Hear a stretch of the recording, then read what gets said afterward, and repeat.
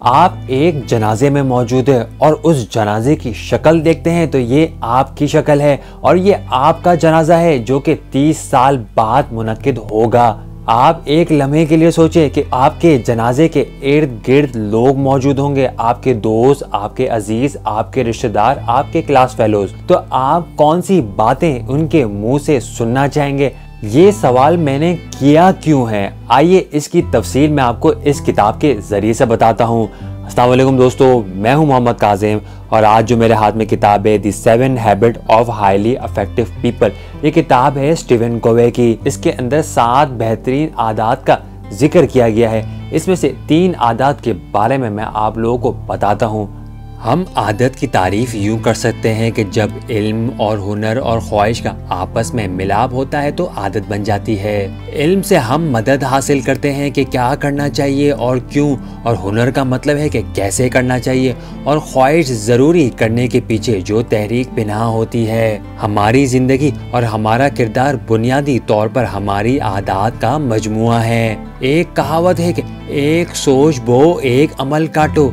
एक अमल बो एक आदत काटो। एक आदत बो तो एक किरदार काटो। किरदार बो तो अमल काटो। अच्छी आदत सही उसूलों की नुमाइंदगी होती है और इनको मुस्तकिल तौर पर अपना लेने से दायमी खुशी और कामयाबी की बुनियाद रखी जा सकती है। पहली आदत प्रोएक्टिव यानी फाल बनिए। हमारी बोलचाल इस बात की बड़ी सही गमबाजी करती है कि हम किस दर्जे के प्रोएक्टिव है रिएक्टिव रद्द अमली लोगों की बोलचाल उन्हें उनकी जिम्मेदारियों से आज़ाद कर देती है। हम रोज़ाना कुछ इस तरह से कहते हैं कि, बस मैं इसी तरह हूँ, उसने मुझे पागल कर दिया है, मैं ये नहीं कर सकता, मेरे पास बिल्कुल वक्त नहीं है, काश मेरी बीवी में थोड़ा सा कुछ सब्र होता मुझे ये सब कुछ करना पड़ता है। हम अपनी गुफ्तु पर गौर क्यों नहीं करते? हम क्यों रोज़ाना रद्द अमल की जबान इस्तेमाल करते हैं? रद्द अमल की जबान कुछ इस तरह की होती है कि मैं नहीं कर सकता। प्रोएक्टिव, चले, मुतबादल पर गौर करते हैं। बस मैं हूँ ही इसी तरह का।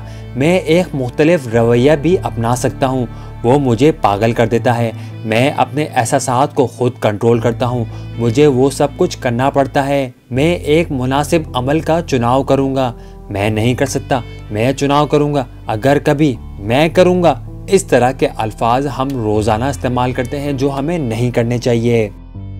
Second habit begin with the end in mind अख्ताम को जहन में रख कर शुरुआत करना। जो कुछ हमारे पीछे या आगे पड़ा हुआ है वो उसके मुकाबले में बहुत ही मामूली मामला है, जो कि हमारे वजूद के अंदर पाया जाता है। आप अपने जहन की आँख से अपने आप को किसी प्यारे के जनाजे पर जाता हुआ देखें। आप वहाँ पर मौजूद सब लोगों के दिलों से निकलने वाली गम की शुआओं को, जो कि रुखसत होने वाली रूह के लिए महसूस करते हैं। जब आप अपनी नशे संभालते हैं तो अचानक एक सोच आपके जहन को चकना चौंध कर देती है। आप महसूस करते हैं कि ये आपकी अपनी मैयत है और आखिरी रसूमात की तकरीब है, जो कि आज से 30 साल बाद मुनद हो रही है। आप ये ख्याल शुरू कर देते हैं कि आपके बाद अज मर्ग अपने बारे में, अपने ख़ानदान के बारे में अपने दोस्तों और अपने हम पेशा साथियों, अपने मजहबी या किसी खैराती इदारे में अल्लाह के नाम पर खिदमत सर अंजाम देने वाले हम रकीबों के मुँह से कैसे अल्फाज सुनना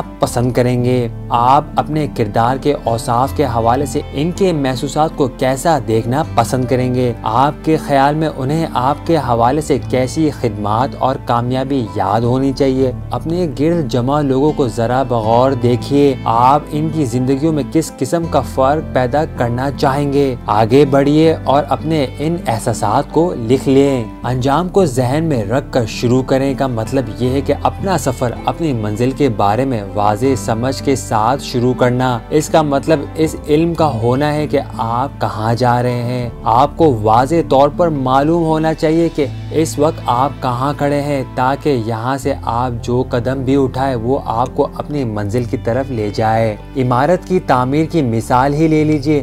पहले कील ठोकने से पहले आपके जहन में तामीर के सिलसिले में तमाम तफसीलात तय पाती है। आप अपने जहन में एक तफसील के साथ इस इमारत की तामीर करते हैं, जो कि आपकी तमाम ज़रूरियात को पूरा कर सके। फिर आप ये सारा तस्वुर कागज़ पर मुंतकिल कर देते हैं और ये सब उस ज़मीन को छूने से पहले आप कर चुके होते हैं। The third habit put first thing first पहले चीज़ को पहला दर्जा देना। ये दो सवाल आप अपने आप से ज़रूर करें। वो क्या चीज़ है जो आप कर सकते हैं, जिसको बाकायदगी के साथ करने से आपकी ज़िंदगी में बहुत मुस्बत फ़र्क पड़ सकता है। दूसरा सवाल ये कि वो क्या एक चीज़ है जिसके करने से आपके बिज़नेस या पेशे में बहुत ज़्यादा तब्दीली आ सकती है। इसके अंदर चार और हैबिट्स मौजूद है, लेकिन इसकी तफसील मैं किसी और वीडियो में दूँगा। इस किताब की ख़ास बात यह है कि इसका उर्दू में तर्जुमा भी हो चुका है।